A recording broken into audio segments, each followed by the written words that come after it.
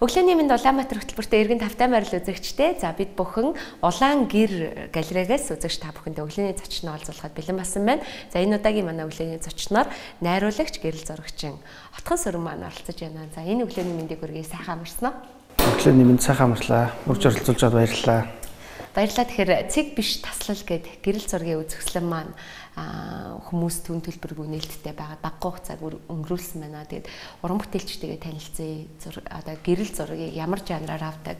За энэ удаагийн гэрэл зураг маань ямар онцлогтой болсон талаараа яриагаа эхлүүлье.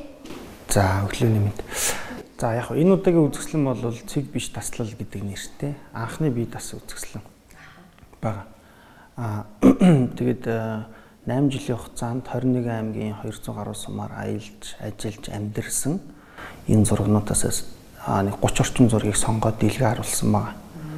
10 жилийн хугацаанд нөгөө судалж мэдсэн зүйлүүдээс ингэж бодож жагаад тэгээд яг хуу цэг тавихаар бүх юм ингэ дуусчихна тий. Бүгдийг нэг шинчил чинээр эхлэх хэрэгтэй. А таслал тавиад хуучин зүйлийг шинжилтэй холслуулад үргэлжлүүлж авч явъя гэсэн санаагаар ерөнхийдөө зургуудын минь утга санаа ч гэсэн ерөнхийдөө бас тийм байгаа. Байгаль арт баримтат гэрэл зураг гэсэн гурван гэрэл зургийн төрлийг ерөнхийдөө хослуулад тэгээд яг хуу одоо шууд анх бол ерөнхийдөө баримт гэрэл зургаар дагнж авч ирсэн л та. Тэгээд явандаа нөгөө аялж эхэлсэн, аялж эхэлж авах хугацаанд байгаль тэгээд байгаль дээрээ яаж одоо арт гэрэл зургийг хослуулж болох уу гэдэг шинжилэлээр. Тэгээд арт гэрэл зургийн хувьд бол яг хуу ерөнхийдөө хүмүүс айгүй нөгөө шинэ ойлголттой байгаа. Арт гэрэл зураг бол яг уран зурагтай ерөнхийдөө төсөөлдүүлж юм нь ойлгож болно. Тэгээд энэ үзэсгэлэнгийн гол яг уу дэмжигч гол одоо санаачлага гаргасан одоо газар гэвэл Монголын урлагийн зөвлөл. Тэгээ Монголын урлагийн зөвлөл яг нь урлагаар уран бүтээлчдэг урлагаар хангах бүтээлч хөтөлбөр байгаа. Тэр хөтөлбөрийн хүрээнд ер нь бол санал тавиад Тэгээ нутагийн үзэсгэлэнг 14 хоногийн хугацаатаагаар одоо хүмүүст үн төлбөргүй хүргэж байгаа. За яг баримтат гэрэл зураг гэдгийг яг бүгдээрээ бас үзэгчдэд ойлгуулахын зүйтэй ах л та тий. Бид нар нөгөө нэг зураг гэхээр нийтийн ойлголт бол зүгээр л нэг одоо хуцаараа ч юм уу камераар дарсан зургийг л тэр чигээр нь гэрэл зураг гэж ойлгоод байдаг тий. Тэр дундаа баримтат гэд яг наривчлаад орохоор яг ямар зургуудыг хэлээд байгаа вэ? Яг одоо сүүлийн үед бол гэрэл зураг нөгөө шинжлэх ухааны тал руу гайгүй хөгжлөө шүү дээ.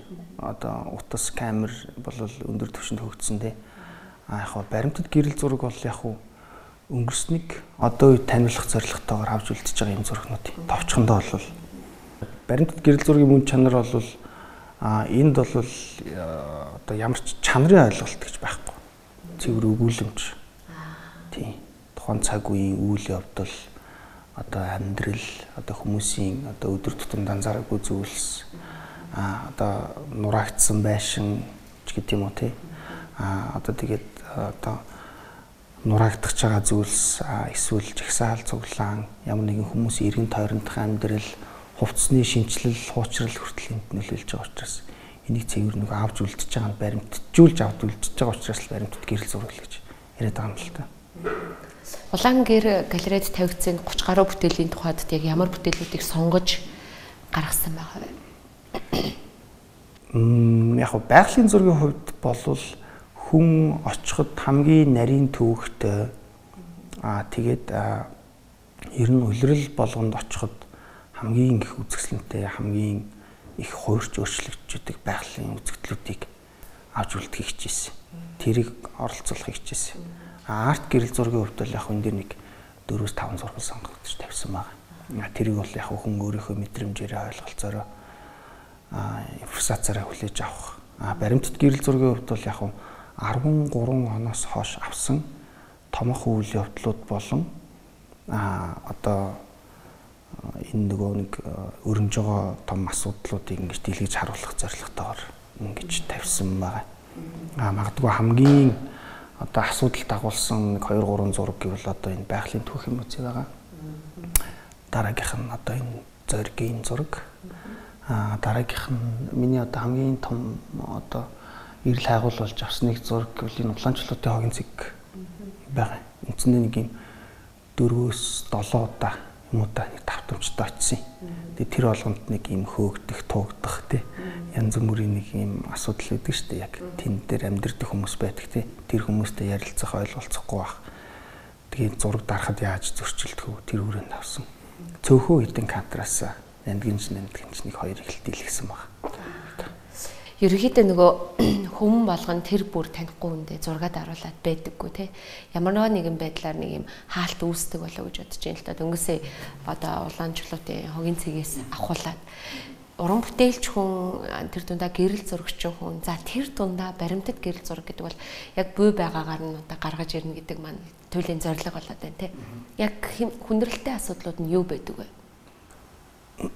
Хүндрэлтэй асуудал гэвэл яг ер нь бол тухайн цаг мөчөөс хоцрох гэдэг бол хамгийн том эрсдэл юм уу? Тухайн цаг үеийг олж хараагүй үлдсэн те. Бусдын дурангаас олж харах гэдэг бол хамгийн том хүндрэлтэй асуудал л та адилхан цаг үед амьдарч байгаа мөртлөө тэрийг авч үлдээгүй байх гэдэг бол өөрөө хамгийн том асуудал аа. Баримтат гэрэл зураг. А байгалийн гэрэл зургийн хувьд бол хүндрэлтэй асуудал гэвэл цаг хугацаанаас хоцрох бас өглөө нар орой нар тий. Одоо одоо машин тэрэг саатах одоо замд одоо тооцоолоогүй эрсдэл гарах ч гэдэм үү тий. Энэ бол хамгийн том асуудал байна. Аа яг өөрийнх нь хувьд уран бүтээлч болсноос хойш те яг хиддэх үзэсгэлэнгээ гаргаж ийн. За яг урын санд нь одоо магадгүй тоолж үтсэн бол хідэн бүтээл байгаа бай. Яг хөө миний оролцож яг юу яасан үзэсгэлэн гэвэл ер нь бол одоо нэг 6 7 дахь нь байна. Би яг нарийн тоолог байна. Яг би дагаад гаргаж байгаа бол яг 2 дахь үзэсгэлэн байх таа. Эхний үзэсгэлэнээс энэ үзэсгэлэн юугаар ялгаатай? Эхний үзэсгэлэн нь бол яг нөгөө өмнө нь нөгөө Energy Contemporary Ballet-тэй хослуулад цэвэр арт гэрэл зургийн үзэсгэлэн гаргасан юм. Тийм.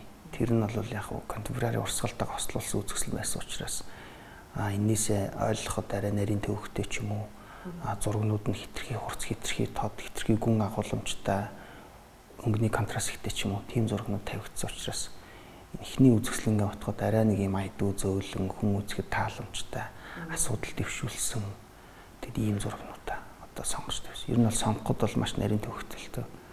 Тийм 10 жилийн хугацаанд цуглуулсан файл дүрсээ. Тэг яг одоо энэ ард явж байгаа дүрсээ бол а зарим одоо нөгөө нэг одоо эн чинь багтахгүй байгаа шүү дээ тий. Тэгээд тэр зургнуудаа тавьж чадахгүй байсан учраас одоо дүрсээрээ зарим нь орлуулъя хүмүүс дүрсээ үзье гэж бодоод тэгээд яг айлсан дүрснээ тэсээ тавьсан байна. Энэ болохоор яг одоо гарч байгаа болохоор өмнөгөө аймаг уу дундгой аймаг уу? Энэ өмнөгөө буй нөгөө хэрмэн цав. Аа хэрмэн цав уу тийм. Ер нь ингээд яг хоо яг одоо ингээд уран бүтээл тойрогддог хүнээс асуухад гэрэл зураг сайн гэрэл зураг муу гэрэл зураг гэдэг юугаар ялгадаг юм шиг залуу уран бүтээлчийн хувьд цензур тавьж байгаа вэ? Яг хоо сайн гэрэл зураг гэдгийг бол ерөнхийдөө оролдлоготой ч юм уу одоо хичээл зүтгэл гаргаж авсан гэрэл зургийг хэлэх байх л та. Дээ. Одоо тухайн цаг үеийг, моментийг хүлээж тий. Одоо яг тэр орчныг тааруулж нөхцөлд нь ингэж тааруулж ингэж авсан байдаг. Тий. Одоо яг муу гэрэл зураг гэж байхгүй л дээ. Гол нь хүн болгоны сэтгэмжээс ойлгож харж байгаа өнцгөөс л тэр нөгөө яаж харагдчихээн гэдэг л чухал. Тий. Түүнээс чанартай чанаргүй хувьд бол тэр өөрөө нөгөө технологийн асуудал болчихж байгаа учраас тэрийг бол яг үгүйсэх арга байхгүй л дээ. За цэг биш таслал энэхүү одоо гэрэл зургийн галерей маань магадгүй дуусахгүй байх гэж бодож байна. Нэрнээсээ авахуулаад л ерөнхийдөө таслал тавьсан учраас үргэлжлэлийг бас магадгүй гэрэл зурагт тэр дундаа баримтат гэрэл зураг сонирхдаг хүмүүст бол их тийм хүлээлт үүсгэх юм шиг надад санагдаж байна л та. Тэгээд ирж үдсэн одоо яг энэ галерейтэй танилцсан хүмүүсээс сэтгэл ямар байсан бэ? Уран бүтээлчтэй уулзаад талархал шүүмжлэл аль алийг нь өссөн болоо гэж бодож байна. Тэг яг юм. Манай аюу том гэрэл зургийн том төлөөлөгч байдаг шүү дээ. Манай гамма гэнтлийн захирал цацралт ах тий.